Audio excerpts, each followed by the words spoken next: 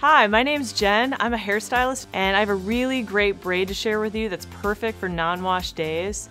It's really easy to do. Let's get started. First, apply Shampure dry shampoo to your roots to absorb oil and refresh your hair. Massage it into your hair and scalp with your fingers. Then spray on Shampure Thermal Dry Conditioner to your mid-lengths and ends. I love this product because it instantly conditions, detangles, and softens my hair between washes. Comb through so it's evenly distributed. Next, separate your hair into two sections.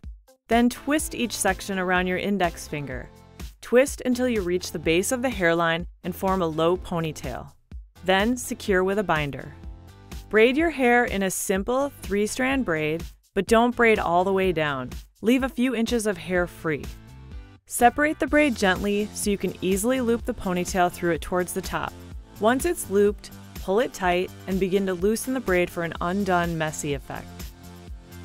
Spritz your ends with more thermal dry conditioner, then massage the sides of your head to loosen and rough up hair. Pull a few pieces of hair around your face for a casual style. So that's the final look! I hope you enjoyed this video. Feel free to leave comments below and hashtag your non-wash day looks with Styled by Aveda.